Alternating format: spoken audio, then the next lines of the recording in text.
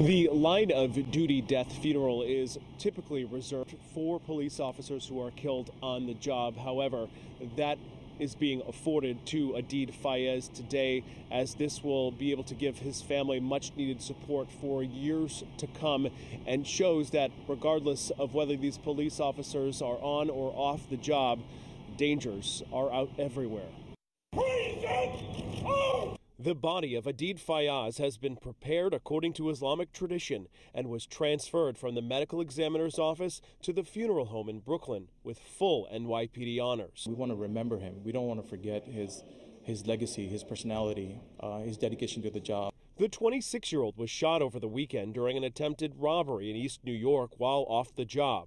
He died days later, and the alleged killer, Randy Jones, is now in jail after appearing in court yesterday. He was a good person that had a career ahead of him, that was planning on going higher, climbing higher, flying higher, and he was viciously gunned down in the streets of Brooklyn. This has to end. We have to come together as people of the city with our elected leaders and say something has to be done. The streets are gone mad. Fayaz was a police officer for five years stationed in Borough Park.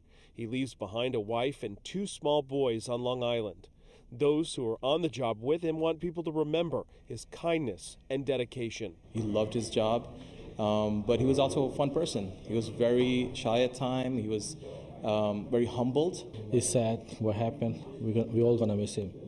His legacy will always be alive in our hearts.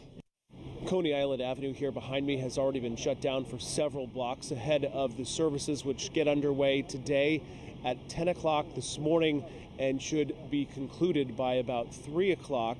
We will hear from both the mayor and police commissioner speak at his funeral.